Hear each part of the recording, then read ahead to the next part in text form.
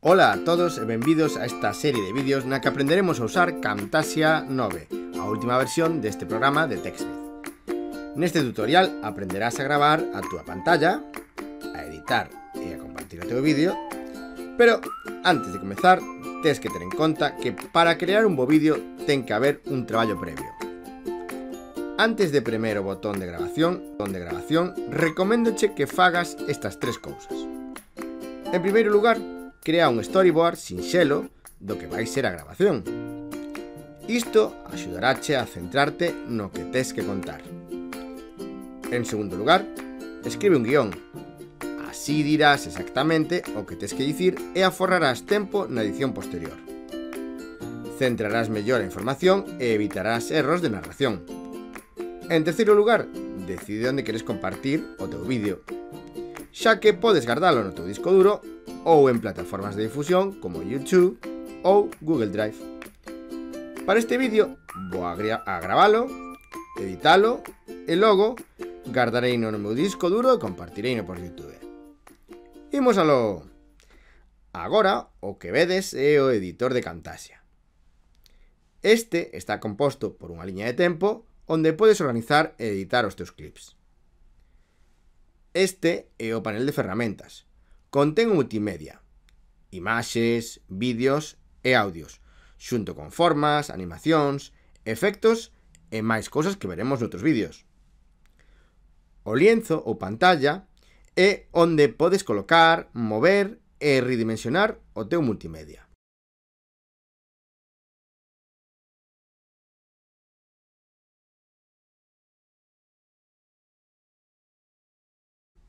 E aquí o panel de propiedades, onde podes agregar efectos e axustar o teu multimedia.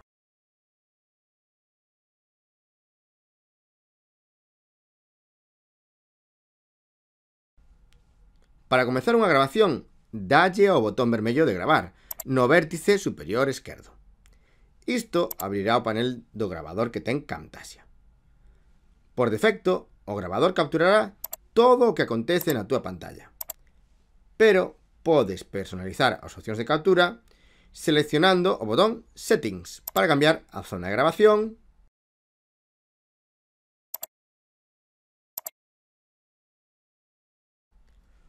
o botón da cámara para permitir a grabación da webcam e o botón de audio para escoller se o audio grabado é o do sistema, o do micrófono ou ambos. Ten presente que unha vez que a grabación comeza, non podes facer cambios no tamaño nin na zona a gravar. Tes todo preparado? Imos aló, a gravar! Ola a todos! Hoxe estou aquí con un tutorial no que vos vou ensinar o funcionamento de Kahoot. Un...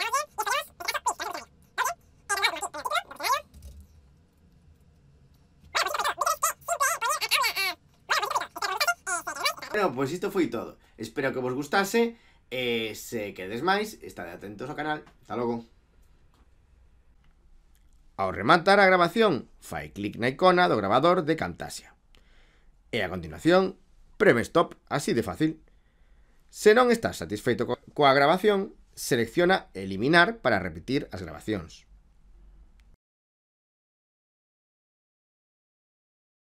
A captura aparecerá automáticamente na bandexa de medios e tamén na pantalla e na liña de tempo. No clip, a pista superior é o audio do micrófono e a franxa inferior correspóndese co vídeo da pantalla e o audio do sistema, é dicir, o do teu ordenador. O audio do sistema ven sendo os sons que reproduce o teu ordenador.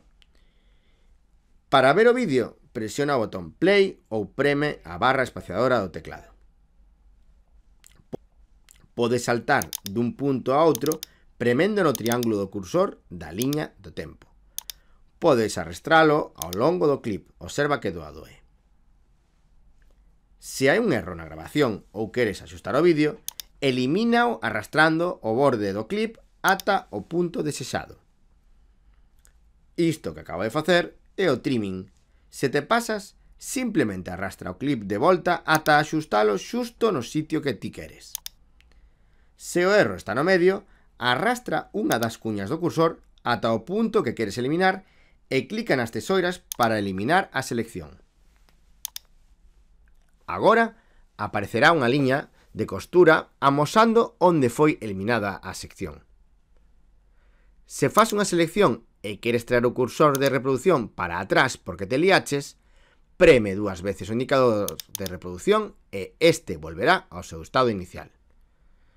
Se queres ter unha mellor perspectiva do clip de vídeo, usa o control deslizante de zoom para aumentar o zoom na liña do tempo.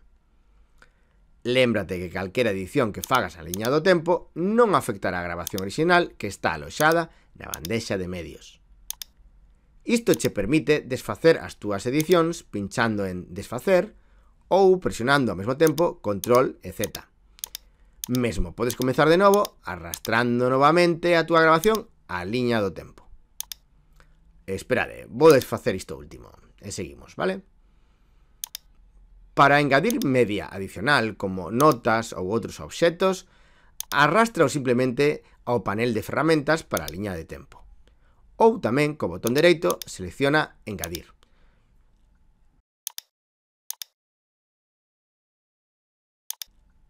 Ao rematar, salva o proxecto para continuar noutro intre. A primeira vez que ardas un proxecto, aparece este diálogo que vedes aquí con algúns consellos importantes sobre proxectos en Camtasia. Agora, preme no botón Share, que é compartir, e escolle YouTube, por exemplo. Loguéate. Outorga permisos a Camtasia para publicar en YouTube. E comparte o teu vídeo. Feito, así de doado. doado.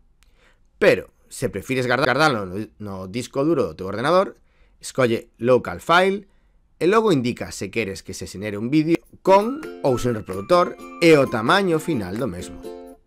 Bueno, grazas por ver isto e segue atento a outros vídeos da mesma temática.